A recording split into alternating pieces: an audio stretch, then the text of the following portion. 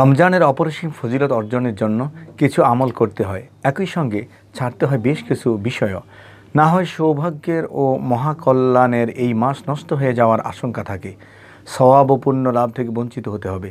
তাই পুরো রমজানে কিছু বিষয় থেকে অবশ্যই বিরত থাকা উচিত। রমজানের শেষ দশক আসন্ন। তাই যারা প্রথম দিনগুলোতে এই বিষয়গুলো থেকে বেঁচে থাকতে পারেননি, তারা যেন শেষ দশকে দিনে নিজেকে বাঁচিয়ে রাখতে পারেন এবং বিরত থাকেননি যারা এত পূর্বের দিনগুলিতে তাদের সহজতর জন্য আমরা দশটি বিষয় উল্লেখ করেছি। সাহারি না খাওয়া। অনেকে সাহারি না খেয়ে রোজা রাখেন। আবার কাউকে দেখা যায় সন্ধ্যা রাতে খেয়েই শুয়ে পড়েন। এটা সুন্নত পরিপন্থী। কারণ ইহুদি ও খ্রিস্টানরা সাহারি খায় না। হাদিসে রসুল সাল্লাহ সাল্লাম বলেছেন, আমাদের ও আহলে কিতাবের রোজার মাঝে পার্থক্য হলো সাহারি গ্রহণ। বিলম্বে ইফতার করা। ইফতারের সময় হলে দ্রুত ইফতার করে নিতে হবে। হজরত আবুজর রাদিয়াল্লাহ তালন থেকে বর্ণিত হাদিসে রসুল সাল্লাহ সাল্লাম বলেছেন দিন বিজয়ী হবে যে যাবৎ পর্যন্ত মানুষ দ্রুত ইফতার করবে, কারণ ইহুদি নাসারারা তা বিলম্ব করে। লাইলাতুল কদর না খোঁজা। রমজান মাসের শেষ দিনে, শেষ দশ দিনে এমন একটি রাত রয়েছে যা হাজার মাসের চেয়ে উত্তম। পবিত্র কোরআনে বলা হয়েছে, লাইলাতুল কাদরে খাইরুম মিন আলফি সাহার অর্থাৎ কদরের রাত হাজার মাসের চেয়েও উত্তম। রসুল্লাহ সাল্লাহ সাল্লাম রমজানের শেষ দশ দিন লাইলাতুল কদর খুঁজতে নির্দেশ দিয়েছেন। তিনি বলেন তোমরা রমজানের শেষ দশ দিনের বেজোর রাতগুলোতে কদরের রাত খোঁজো। মিথ্যা বলা ও পাপ কাজ করা। রোজাদারের জন্য মিথ্যা না বলা ও অন্যান্য পাপ কাজ থেকে বিরত থাকা খুবই জরুরি। আবু হুরার রাদিয়াল্লাহ তাল আনহু থেকে বর্ণিত হাদিসে রসুল সাল্লাহ সাল্লাম বলেন, যে ব্যক্তি মিথ্যা কথা ও কাজ এবং মূর্খতা পরিত্যাগ করতে পারল না, তার রোজা রেখে শুধু পানাহার বর্জনে আল্লাহর কোনো প্রয়োজন নেই। সুন্নত উপেক্ষা করা। মোমেনের প্রতিটি আমল সুন্নত মোতাবেক হতে হবে। আবু হুরার রাদিয়াল্লাহ তাল আনহু থেকে বর্ণিত হাদিসে রসুল সাল্লাহ সাল্লাম বলেছেন, এমন অনেক রোজাদার আছে যার রোজা থেকে প্রাপ্তি হচ্ছে শুধু ক্ষুধা ও তৃষ্ণা।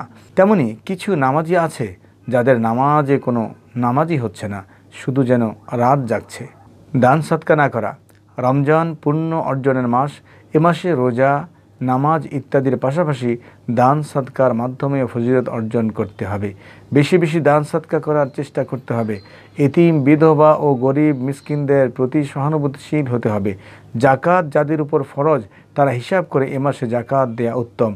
কেননা রাসুল্লাহ সাল্লাহ আলিয়াল্লাম এ মাসে বেশি বেশি দান সাদাকা করতেন। আব্দুল ইবনে আব্বাস রাদিয়াল্লাহ তালন বলেন, রসুল সাল্লাহ আসলাম ছিলেন মানুষের মধ্যে সবচেয়ে বেশি দানশীল। রমজানে তার এই দানশীলতা আরও বেড়ে যেত। অপচয় ও অপব্যয় না করা। প্রয়োজন অতিরিক্ত অপচয় করা থেকে বিরত থাকা। অনেকে রমজান মাসে ইফতার বা সেহরিতে এমন খরচ করেন যা করার কোনো প্রয়োজন নেই। পবিত্র কোরআনে বলা হয়েছে, হে বনি আদম, তোম, তোমরা প্রতি নামাজে তোমাদের সাজসজ্জা পরিধান করো এবং খাও, পান করো ও অপচয় করো না। নিশ্চয়ই তিনি অপচয়কারীদের পছন্দ করেন না। কোরআন খতমে তাড়াহুড়া করা। তাড়াহুড়া করে কোরআন পড়লে কোরআনের হক আদায় হয় না। শুধু খতম দেওয়া বা কোরআন শেষ করার জন্য অনেকে এমনটা করেন। বিশেষ করে তারাবিতে খতম শেষ করার জন্য তাড়াহুড়া করে পড়ার প্রচলন তো খুব বেশি। এইসব করা সম্পূর্ণ অনুচিত। আবহরার রাদিল্লাহ তাল্লাহ থেকে বর্ণিত হাদিসের রসুল ইসলাম বলেছেন, যে কোরআন সুন্দর উচ্চারণে পড়ে না, সে আমার উম্মতের মধ্যে সামিল নয়। ফরজ নামাজ আদায় অলসতা করা সিয়াম পালনের সঙ্গে সঙ্গে ফরজ নামাজ জামাতের সঙ্গে আদায় করতে হবে। অনেকে ফরজ নামাজ আদায়ে উদাসীন থাকেন, যা গ্রহণযোগ্য নয়। কোরআনে বলা হয়েছে, অতএব সেই নামাজ আদায়কারীর জন্য দুর্ভোগ, যারা নিজেদের নামাজে অমনোযোগী। রোজা দোয়া না করে ব্যস্ত থাকা। রোজা অবস্থায় দোয়া ফিরিয়ে দেয়া হয় না, কিন্তু অনেকে দোয়া করেন না। দোয়া না করে অযথা সময় নষ্ট করেন, যেটা কোনোভাবেই উচিত নয়। দোয়া কবুলের ব্যাপারে নবী করিম সাল্লাহ ইসলাম বলেন, তিন ব্যক্তির দোয়া অগ্রাহ্য করা হয় না, বরং কবুল করা হয়। পিতার দোয়া, রোজাদারের দোয়া এবং মুসাফিরের দোয়া।